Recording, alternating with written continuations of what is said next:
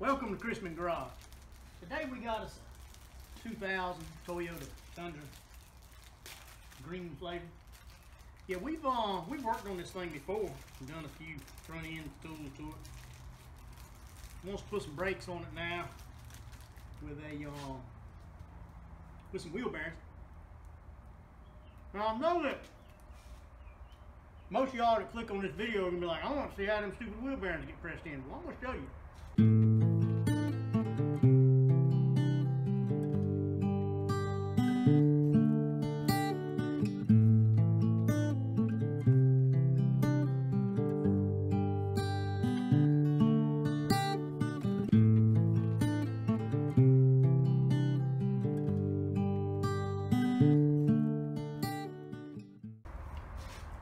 You got to take the spindle off. See there? That's your lower ball joint. Your lower ball joint is made into your tie rod end. So when you take those four bolts off the bottom, the 14 millimeter pops right off. You get all the other stuff off. And come over here, I'll show you how the rest of this. Man, this thing really gets stuck in your teeth really bad, but I'll show you how the rest of this thing goes together. Come on. Over here at this handy dandy 20 ton Harbor Freight press. That's what you need to change these old wheel bearings out. And I'll show you something else you need. See this, this rotor that we took off the front? Yeah, you're gonna need that too. I'll show you how you need that. Looks like the last person used this press. Ate at Wendy's. Hmm. Hmm. Dr. Pepper. All right. It's hotter than a one-arm paper hanger out here. No, that's how busy I am. It's hotter than a mud fence. No, that's how ugly I am. It's hotter than a well digger's butt out here. I guess that depends on the climate outside, doesn't it? It's hot. That's what I'm trying to say. All right. Once you get the, the old spindulum off, and if you don't know how to get the spindle off, you have no business changing this, this bearing. I'm just gonna give you that heads up right now. If you can't get the spindle off, don't even try to change this bearing. I think they make a tool for this. Mm, this one. Mm. Look at that. How many people can say they got one of them off without bending? Look at that. You don't need that. Hold on. Let's see here. Let me get. If you look down in here, come over here and check this out. It's got this thing that has been pushed over. We got to push that back over. You're supposed to use a chisel. We're going to use this old screwdriver.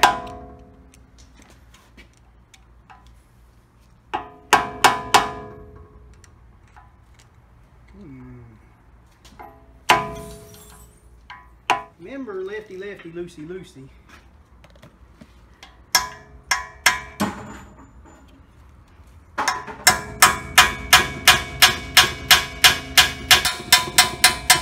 This is a two-wheel drive too, fellas.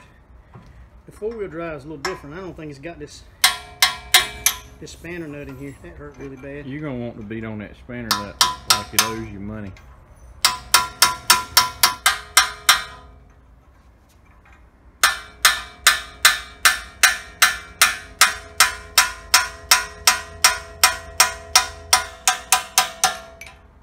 Two. Amen. All right. Amen. Once you get the old spanner nut off, we didn't booger it up too bad. You see there, this thing right here, we'll probably polish her up some before we put her back in there, but she screwed down like this. A spacer in there too, fellas. Little spacer out. I know how to get spacer out. Okay, spacer removed. There it is. All right, once you get your spacer out, that went against the bearing. This went on top, just like that. We're gonna put it back together when we go back together with new bearing. We'll set it there so I forget where it's at. We was doing a brake job. So you got this rotor here, right?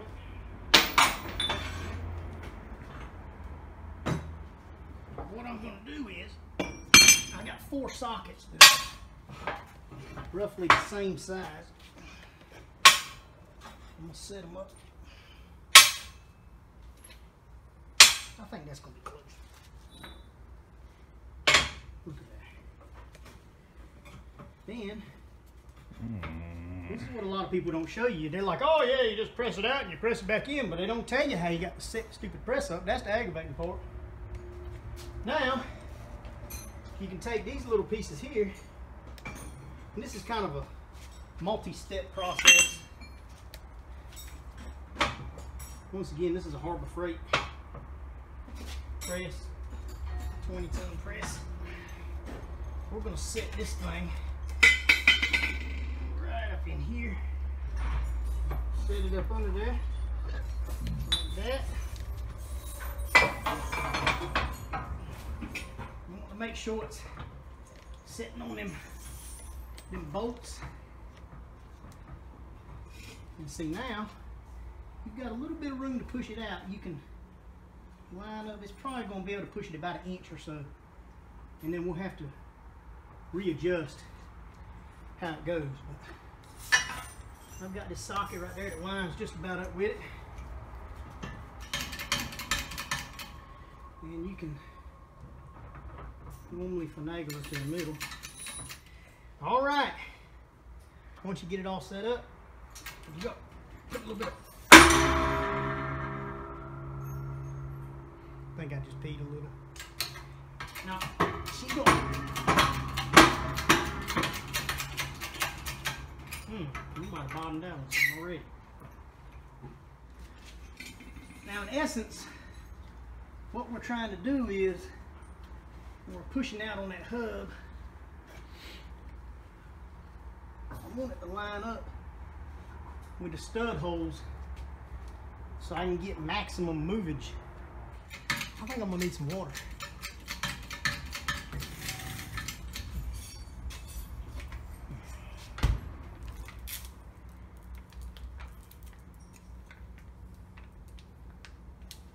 Whoa.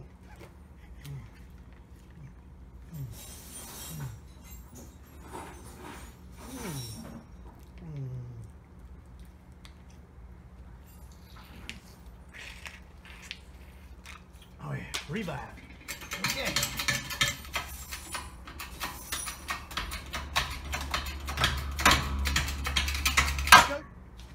All right, I think we have managed to get the, yep, it did exactly what I wanted it to do. It pushed the back side of the bearing out.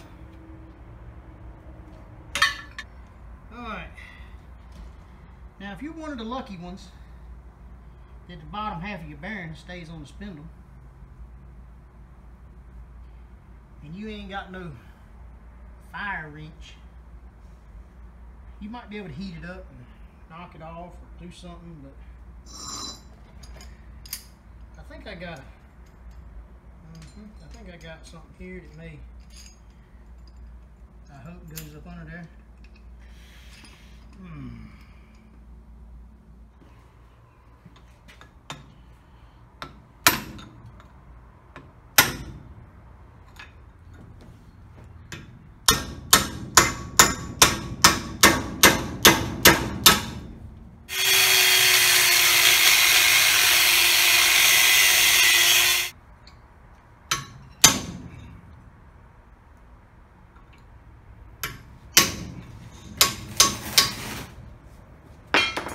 In on this one time. What we have accomplished is we've split it. It's cracked. It's hard to see there, but it's cracked all the way down through here. It's broke loose now. So I should be able to just proper.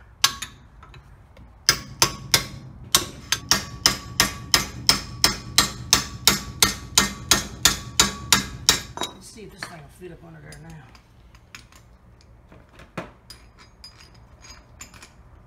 Whoo-wee! What is this wizardry?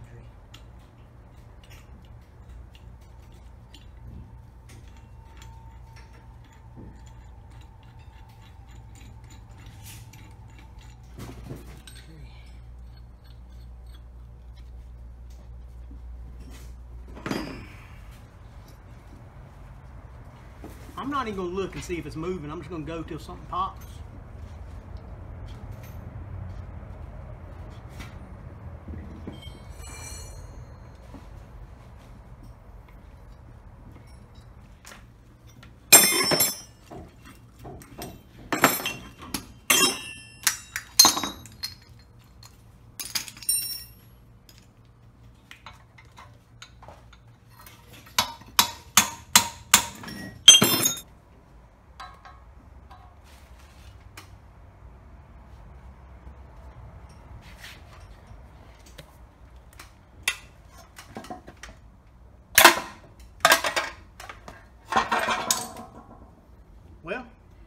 Sure how that was gonna work, but it worked good.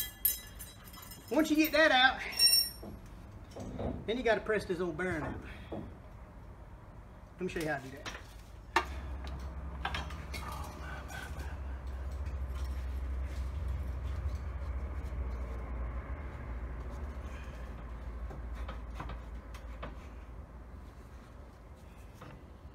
Maybe.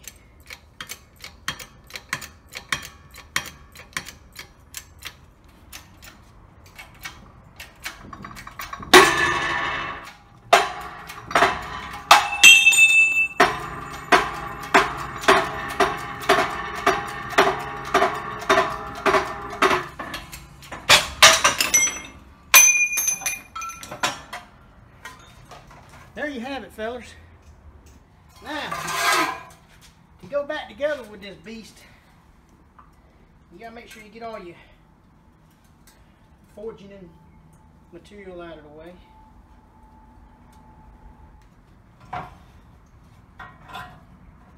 Hmm.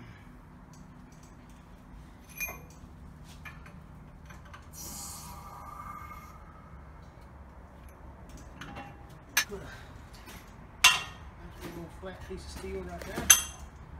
Put us some more space taker.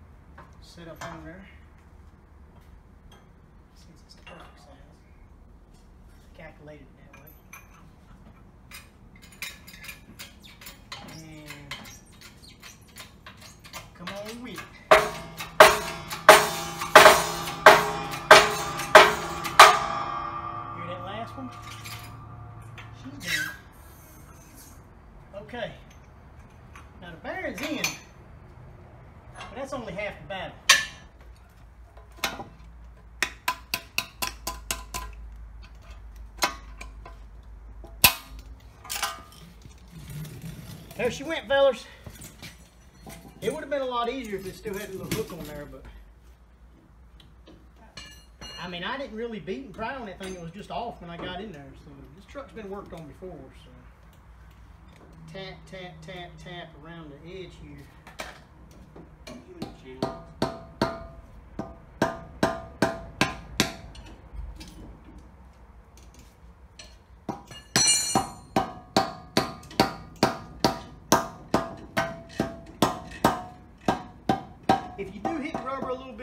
Bad because this the way this seal works is this seal presses against the hub. That's what seals it. It's just a, you could actually leave it out and it'd probably be fine. Matter of fact, when I took the other one apart, it didn't have one on. She's on there. She's good and down, flush. Make sure she's flush all the way around. She looks good. Now it's time to go back in with the hubulator. Okay. I've got it supported down there on the inner part of the bearing. Because when you're pushing through that inner part of the bearing, you can separate the bearing out. Then you messed up your bearing, you're starting all over again. So, and I'm pushing on the hub here, so let's see. Uh,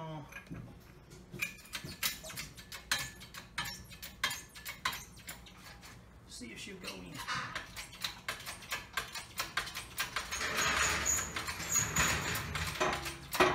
Now she's gonna bottom out on that piece I put down there and stop. We'll regroup. Okay, she just bottomed out. So what I'm gonna do now is Some people would probably just keep right on shine down on it. Go through the first bearing, or the first side of the bearing, make it through the second side. You got to put this on first, so we're gonna put her down like that, and you got to make sure you're centered in there. Yep. Hmm, there went that fair.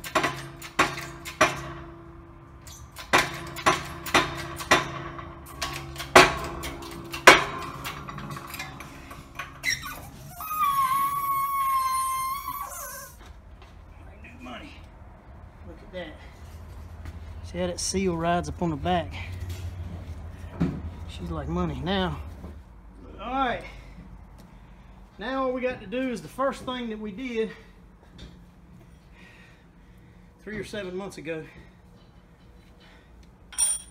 Spacer goes on, little spanner socket.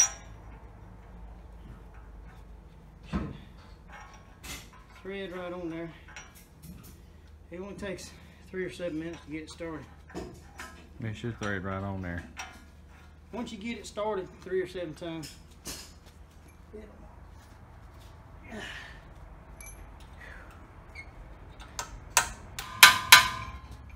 she's fixing to be stopped.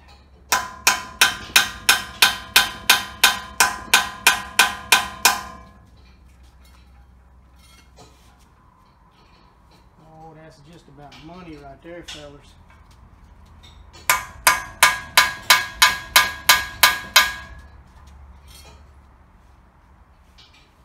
Yep, money. Now we're gonna dimple this thing.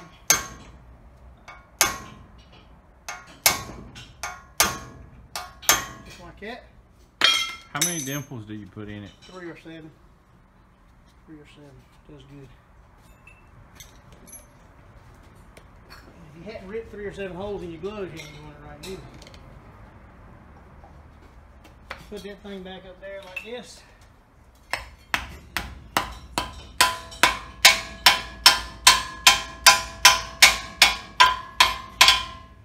Voila! Just so you know, I didn't bend any of this. Somebody else bent that, but make sure when you put it back together, it's sitting drugging on you, on your rotor. But like I said, if you if you don't know that, you don't have no business working with this wheel bearing. So, with that being said, fellas, there's your wheel bearing in old two-wheel drive 2000 Tundra. If you got a 2000 Tundra, the wheel bearings is giving trouble, it's probably going to the bad.